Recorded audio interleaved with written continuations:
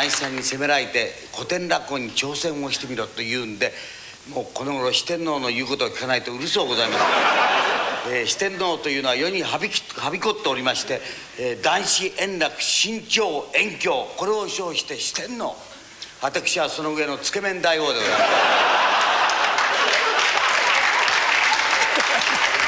ここまでくだらないといいね。この実力者の4人というものはどうしてかというと芸と人柄と兼ね備えた青年標高でございまして革命を起こそうとしている。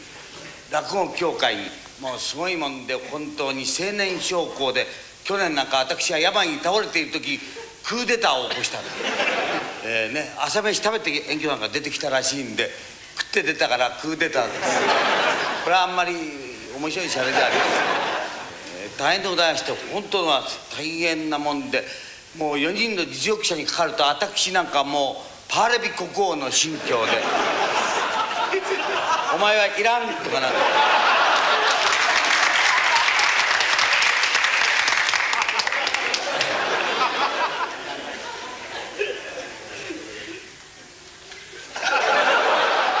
この4人というものは先ほど申し上げました通り身長はこれは大変な人気でございまして新潮独演会。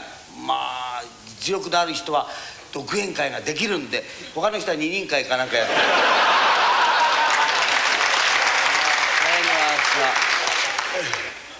本当でこの新潮というのはサラブレッドで家柄がいいんですな。血統がいいとかなんとかってあの師匠が新師匠大師匠名人でございます。ですから私は新宿の末広でご生前に私は褒められて「さんちゃん」って言うから「なんだね。お前というものはいいよさんちゃん。お前の芸というものは得難い芸だよ。そうっすか。うん。お前の芸というものは報いのおけつに飲みが入ったみたい。何が何だかわけわかんない。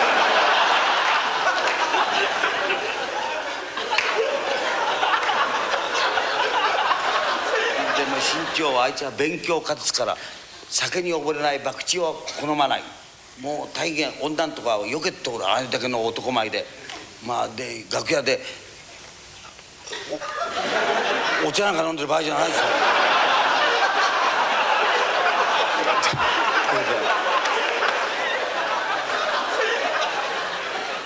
あいつは週刊誌ばっかり読んでるのあいつは。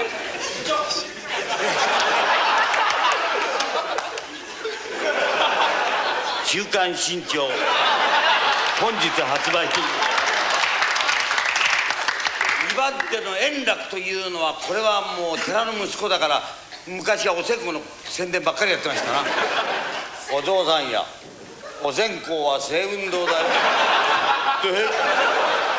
3番目が遠鏡さんで遠鏡さんはもう立志で親孝行ではすな。本当に親孝行で文楽師匠が褒めたお前さんというものは親孝行で大変で4番手に来る最後の人は一番頭の回転の速いただいま思い通り来ました。立川大志さん。この方はもう落語界の天才ですな。天の災いとか。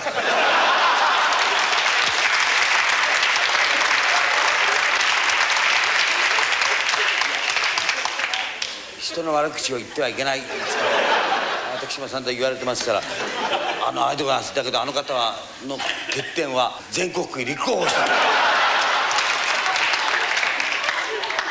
その時の運動員が私と遠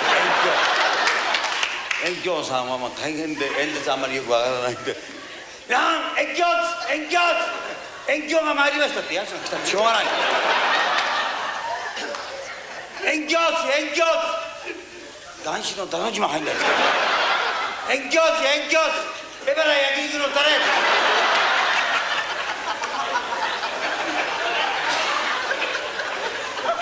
その後が私でございます。本当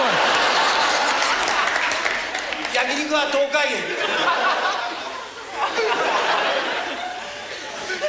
三平に清き一票をお願いいたします。と奥様こう申し上げた。有権者で随分慌てた方がお嬢様いらっしゃいまして。お嬢様ちょっと待ってくださいね今ジュジュリーの話をしますから。えー、林家さんって書いてあっじゃ文京区で70票入って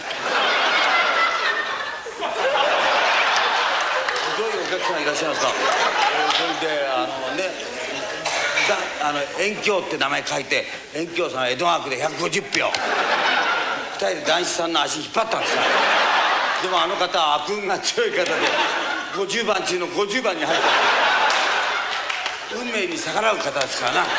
天中殺で生きる男ですから。